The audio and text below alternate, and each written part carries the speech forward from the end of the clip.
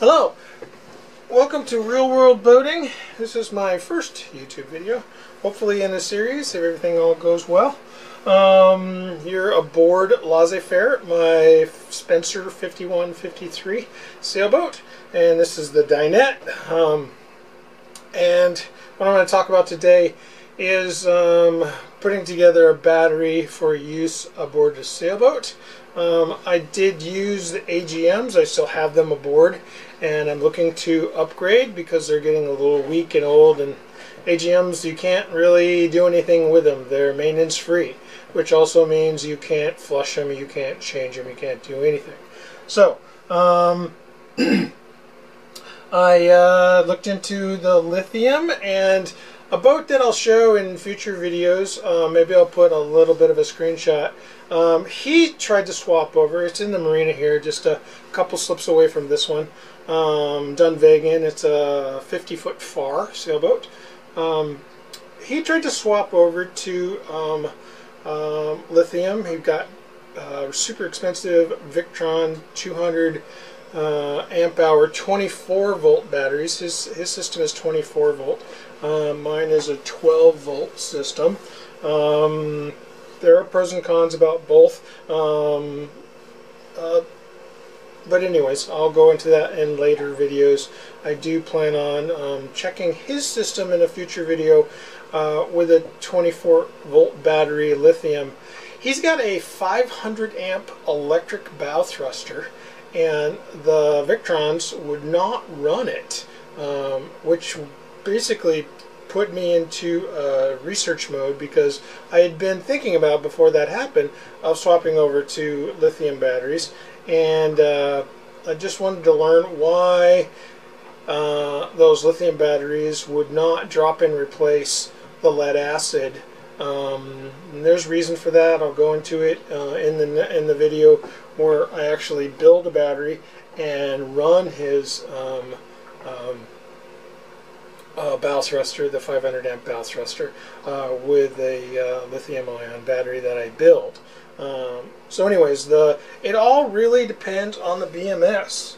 Um, this BMS is rated for 100 uh, amps. Uh, discharge, constant discharge rate. It does have a peak discharge for a very short period of time, um, but a little bit too long to run a bow thruster. So this is a Bluetooth enabled uh, BMS and uh, it does have a temperature, low temperature shutoff as well. Um, it is not sponsored. Um, you can get this from uh, AliExpress. Uh, I have seen it, the same exact thing, on eBay as well. Um, battery hookup. I'll put some links in the uh, video so you could uh, uh, purchase one of these. Um, it is 4S. 4S means the number of cells, 1, 2, 3, 4 right here. So there's a 4 cell. It definitely does matter um, that if you, the number of cells that you hook up um, has to be the right, so, right one. So if you're doing 12 or 2 or 4 or whatever you're doing with the number of batteries, the number of cells you're hooking up to make your 12, 24, 36, you can even do 18 volt batteries.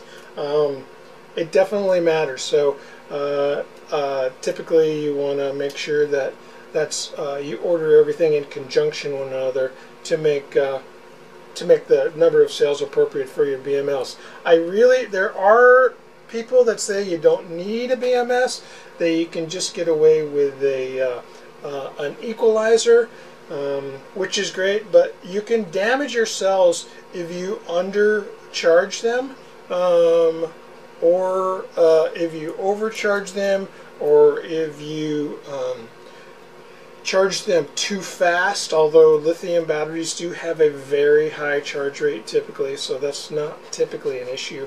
Um, so yeah, uh, a BMS is essential, I would I would think, and this one uh, does equalize the cells, and it does have the Bluetooth app. Um, I'll put a link to that in uh, the video at the end of the video as well. And so yeah, uh, let's get to it as far as constructing the battery itself. So I did actually, um, you can see here, I'll turn this on. Can see here, and I put red tape on the positives already, a red electrical tape, just to make it clear for what I'm doing so I don't make a mistake, and uh, that you can see when I hook up the, the cables for the BMS uh, why I'm doing it that way and why it's really important to have that. So uh, as you can see uh, I'll do the charge and this is a 3.2 volt cell but I fully charged it. I, I discharged them completely um, down to about 11 volts and charged them back up several times as I recommend doing with any cells you bought. A lot of times the cells sit in storage for months, if not maybe years sometimes, um, and then they kind of need to be uh, restarted um, as far as the chemistry involved in the cell. And uh, I recommend discharging them. I've seen some videos um, where people have to uh, charge and uh, uh, discharge them like six or seven times um, in order to get the, the full capacity out of the cell when they're brand new. So I've done these about four times to completely discharge them and completely charge them back up and equalize them all up. So there, uh, you can see that it's a 3.39, uh, I think it is, 3.34 uh, in this cell. And if I swap the leads, uh, it says 3.33 now, um, but also there's a negative sign. So that means that my probes, the, the red and the black one, are in the uh, wrong uh, connection. They're in the wrong side. So that's how you tell uh, which side's positive and which side's negative. Um, so if you have a negative sign, your, your red and black are wrong. Um, so go ahead and swap that back, and that is the red tape for the positive there. Alright, so since all these cells are basically the same, um, I have the red tape again designated. So what we're going to do is they're three they're 3.2 so we're gonna um, put these in series together to get the 12 uh, basically 13 volt battery um, I've been able to charge it up to a little over 14 I do have one cell which is this one right here I'm pointing at that will actually charge up to over 4 volts. It's pretty impressive uh, for a 3.2 uh, uh, volt battery. Usually they, they top out about 3.7 uh, at the very most. 3.6 is, is usually considered max for the, the 3.2 uh, prismatic lithium iron phosphate cells. Uh, I got these cells on eBay. Um, they're actually sold as 135 amp hours. In the discharge testing I was able to do, I did get 128 amp hours out of them.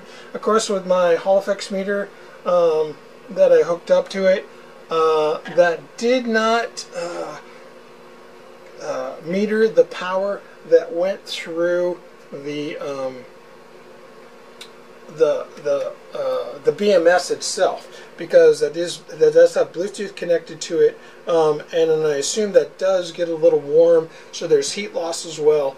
So I would expect I got at least 130 to uh, close to 135 um, out of the cells because those aren't metered.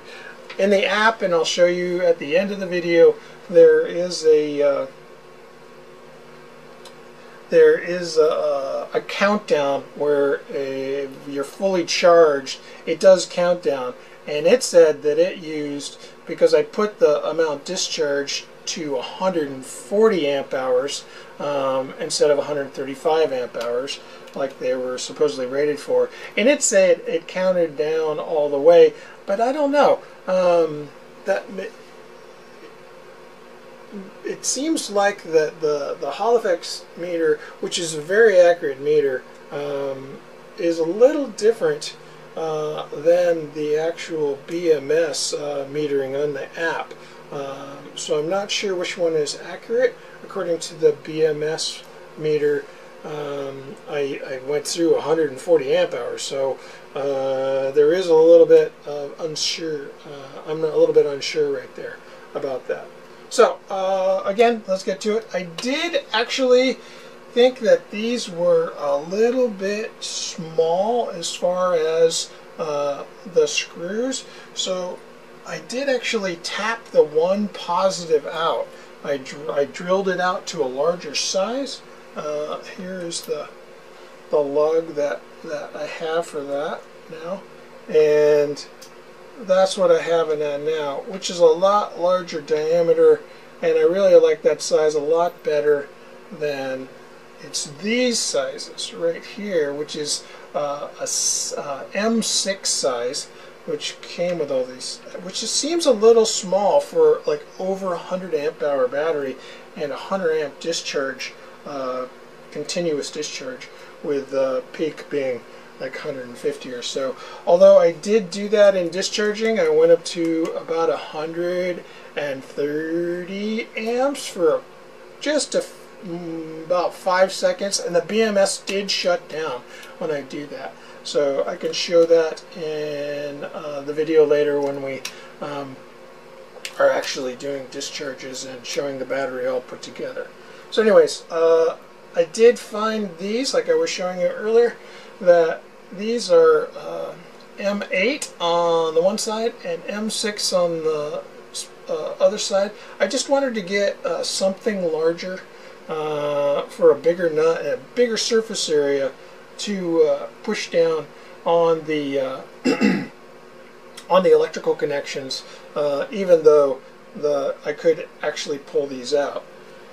In tapping this out, if you want to do that, uh, I don't recommend it. It was actually fairly difficult to do. Um, there's two different styles of taps. Um, and so this is a 5 16 uh, lug that I, I, I, have for this right here. So these are 5 16 uh, taps.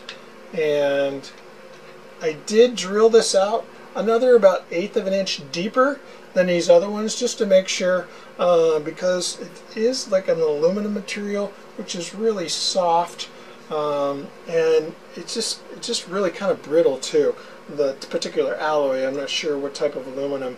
It's difficult to, it was pretty difficult to tap. I've, t I've made a lot of taps in my life. Um, I've tapped a lot of holes in different materials, and this was one of the more difficult ones. I was really concerned about messing it up, um, and so I don't really recommend it. You can do it. I did do it. Now this is a typical tap. Notice the point on the top there. Um, that is what you would do if you're going all the way through a piece of metal, like a piece of plate steel or something like that. That it's really good for starting the hole. So I did, I did uh, uh, tap this in and and use this to start. It really, it really gets the threads going easily because of the tapered end. Um, it's much easier to use. Now they have other types of top taps which are called bottoming taps. If you want to see the difference, there they are. The uh, the bottoming tap has got a flat, there's no real taper. There's a couple threads at the very end that are tapered slightly um, instead of like the, the point and then about five threads that are tapered on that one. Um, so what I did is I started it with the tapered uh, through tap and then, and then I put the bottoming tap in and then it was able to catch the uh, the threads that were started to created from the through tap um, and then I was able to get to the bottom of the hole with the bottoming tap. So the threads are basically all the way down just a hair above the bottom of the hole. So um, that's what I did